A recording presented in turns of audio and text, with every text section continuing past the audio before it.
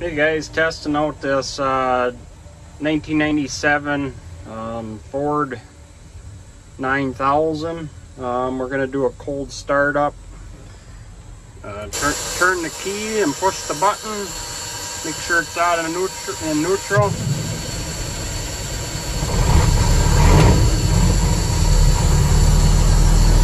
Starts pretty easy. Just gotta wait for the air brake to uh, air up and then you can disengage it. Old Cummins diesel runs very smooth.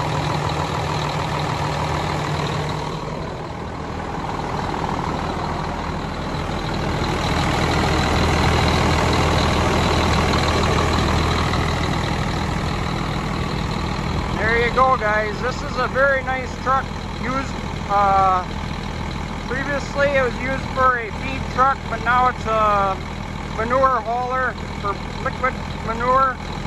Very dependable truck. If you're interested, please contact me and we'll help answer any questions. Thanks and have a great day.